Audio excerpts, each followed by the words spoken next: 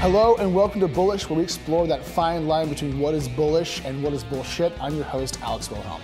Now, on this show, we're not going to bring in founders to talk about their companies or VCs to talk about their portfolios.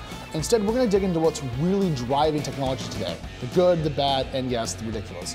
We're going to bring in technology's best and brightest every single Wednesday, but we're also going to bring in the pariahs, the hated, and we're going to talk a lot about failure because failure, as you know, is a little more common than success.